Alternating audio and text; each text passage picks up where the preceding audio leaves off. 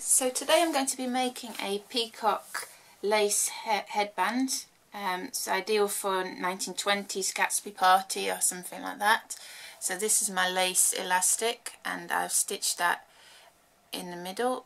Um, I measured around my head and that's the right size.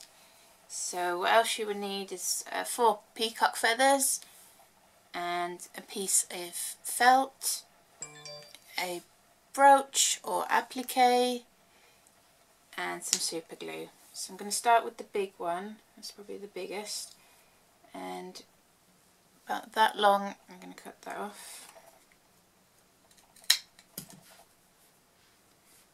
And I'm going to glue it on the patch. I've done other Gatsby hairbands as well and headpieces uh, so please take a look at those if you're interested. If you find this tutorial useful or it's given you idea, then please do give it a thumbs up. And if you want to see more, please subscribe.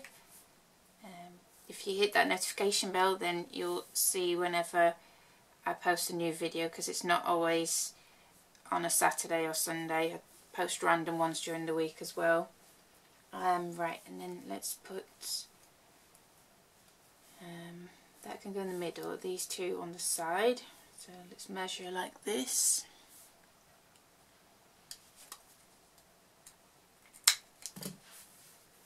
Yeah, so round about this time, November, um, loads of people have got New Year's parties, um, even weddings that are themed 1920s, um, and these would be perfect for it.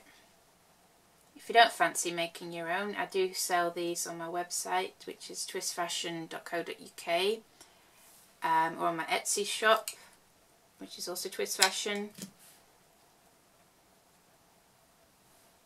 And you could just do use free.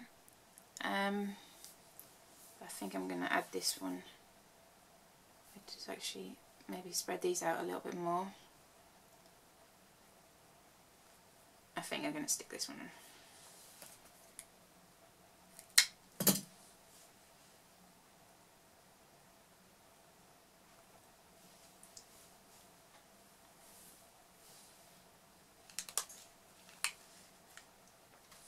Did have a, maybe the shorter one. Yeah.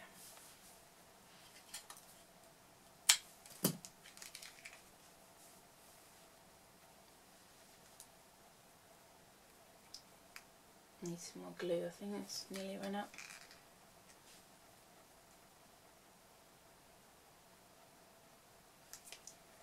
Right, there we go.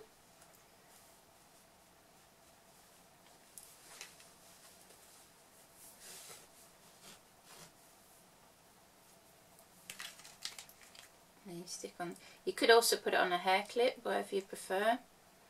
Um, I quite like the hairbands. That goes on there.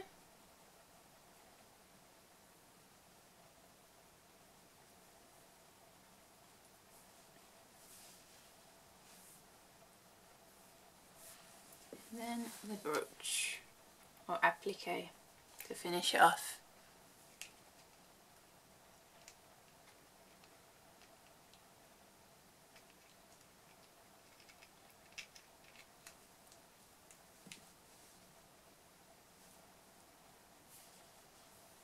Go and then we leave it to dry. That's the back side. So I hope you like this tutorial. Please give it a thumbs up and hopefully I'll see you soon. Bye!